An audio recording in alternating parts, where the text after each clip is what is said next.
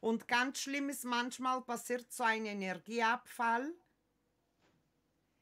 wenn da irgendein Wesen ist oder eine Person ist. Hast du das erlebt oder bei deinen Kunden vielleicht innerhalb von Sekunden, von zwei, drei Minuten ist man leer gesaugt?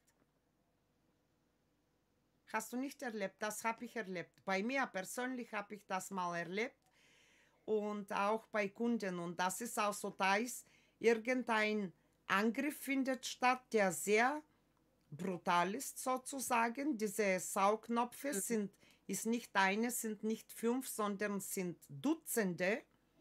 Und die kommen auf einmal wie ein Oktopus.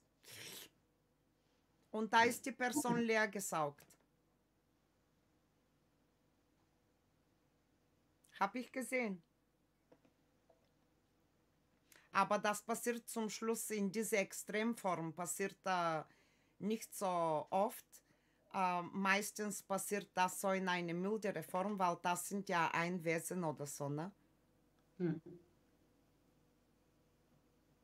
Das Gleiche ist aber auch, habe ich erlebt, wenn ich so zum Beispiel eine Besetzung, eine Befreiung mache, Besetzung raushole und Befreiung mache mit dem Wachs oder mit der schamanischen Methoden, ne?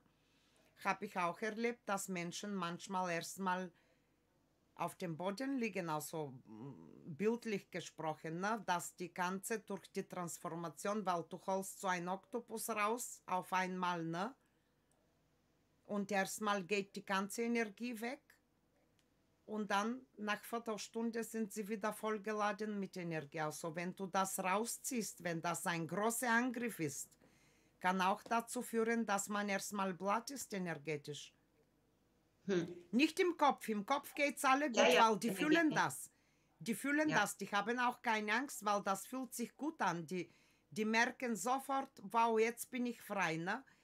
Aber der Körper muss erstmal neue Energien bekommen. Hm.